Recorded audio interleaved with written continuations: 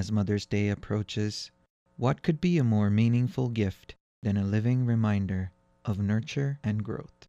I spoke with Katie Nate, the owner of Kat's Plants, who shares her thoughts on current trends and selecting the perfect gift. People are gravitating towards plants that maybe have flowers, um, kind of staying on the theme with spring and flowers and Mother's Day. Um, we do have quite a few in the store that have flowers, so I've noticed that, I suppose.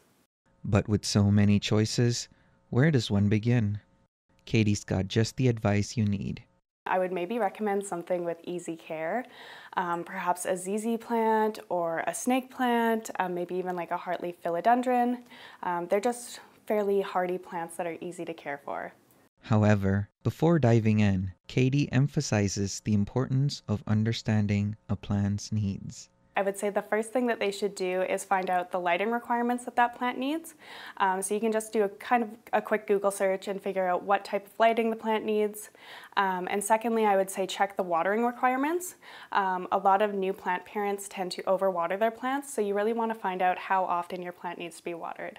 Kat's Plants also has an enticing incentive for those looking to add a little extra green to their loved ones' lives. We are doing a promotion right now. We're doing buy one, get one 25% off. Um, that's for all regular price plants, and the offer is stackable.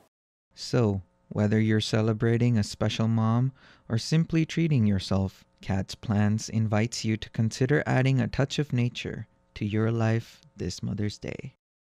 Ravi Jayasilan, Primetime Local News.